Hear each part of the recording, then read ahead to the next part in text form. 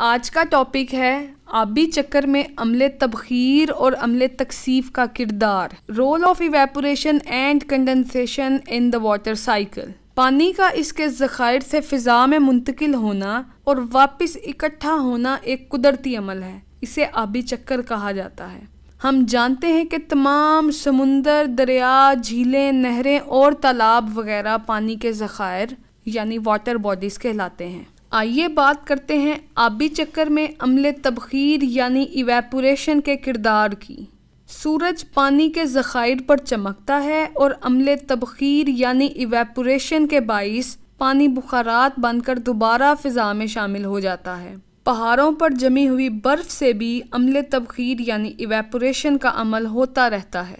اب جانتے ہیں ٹرانسپائریشن کے بارے میں۔ پودوں کے پتوں سے پانی کے ضیاء یعنی تبخیر کو ٹرانسپائریشن کہتے ہیں۔ اب بات کریں گے آبی چکر میں عمل تکسیف یعنی کنڈنسیشن کے کردار کی۔ فضا میں آبی بخارات جب اوپر جاتے ہیں تو حرارت خارج کر کے پانی کے چھوٹے چھوٹے قطروں میں تبدیل ہو جاتے ہیں۔ یہ چھوٹے قطرے ہوا میں اکٹھے ہو کر بادل کی شکل اختیار کر لیتے ہیں۔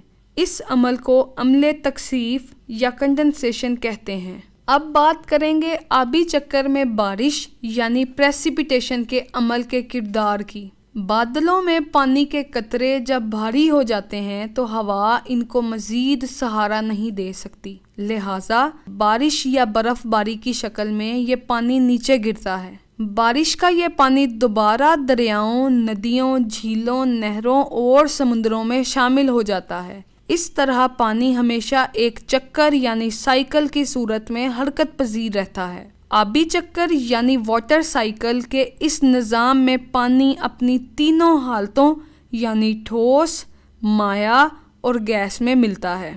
امید ہے آپ کو آج کی ویڈیو پسند آئی ہوگی۔ مزید ویڈیوز کے لیے لاگ ان کریں ہماری ویب سائٹ ڈبلیو